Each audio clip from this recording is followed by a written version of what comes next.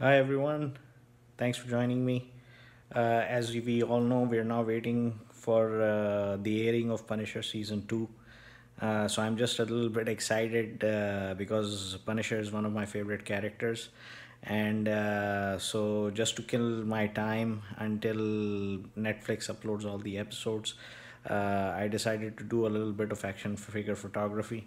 So, as you can see behind me, uh, you have always seen these bookshelves uh, but these are not uh, exactly bookshelves. Yes they are being used for uh, storage but i'm planning to make a full-fledged action figure studio uh, with uh, a lot of the equipment that's needed to give it a real you know feel of the Marvel universe.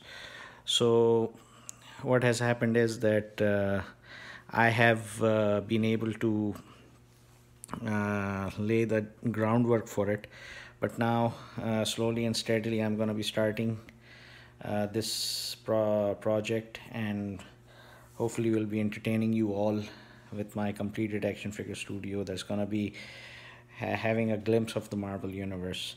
So uh, as you can see the thing is that uh, what I'm doing is the fact that uh, I'm trying to recreate uh, a section of uh, Manhattan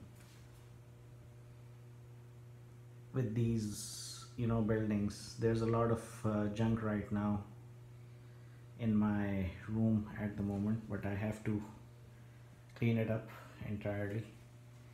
So just I created an a scenario uh, which is like uh, slightly related to the net Netflix universe but uh, with a with, uh, with a special guest appearance from the Marvel uh, universe whether they are Netflix whether they are cinematic universe. So as you can see I have this action figure of uh, Punisher. This is a Marvel Legends Toy Biz action figure that came in as part of the Marvel uh, Marvel Urban Legends uh, action figure set.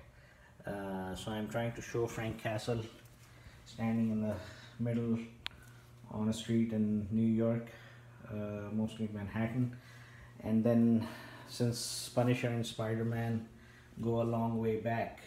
Uh, both of them are recognized as urban legends within the Marvel universe. I'm talking about the comic books. So I place Spider-Man here uh, and uh, then I have uh, Daredevil and Elektra.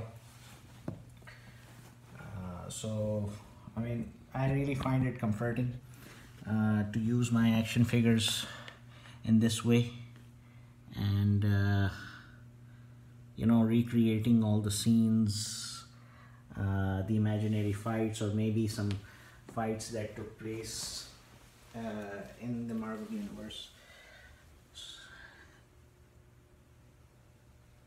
I really feel good. Uh, I'm sure there are a lot of people like me out there who are um, into action figure photography and action figure decoration. Basically, once this gets completed this will be my full-fledged action figure studio. So on one side uh, I'll be having these uh, shelves decorated as buildings. And on the other side uh, they are going to be decorated with action figurines. Uh, some of them you're going to see hanging all the way from the top to give them a swinging feeling or a flying feeling. Like for example if there's spider-man so i want to give it like or daredevil that they are swinging across buildings in manhattan just like they do in the comics. And then at the same time if there is like captain marvel or uh, falcon or uh, heroes that fly so i'm going to be using those as well.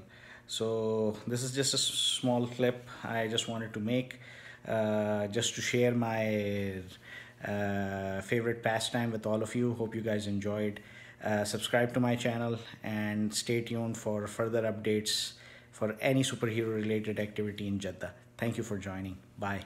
Have a nice weekend.